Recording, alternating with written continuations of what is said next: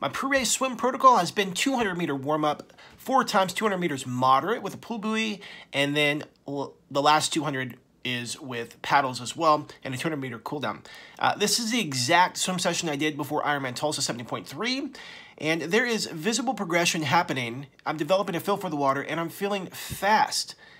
What blows my mind is this is the least amount of swim volume I've ever done, all the while I'm averaging faster swim times in training. My PR for the Ozark Valley Tri Swim is 1858 for the 1,000 yards.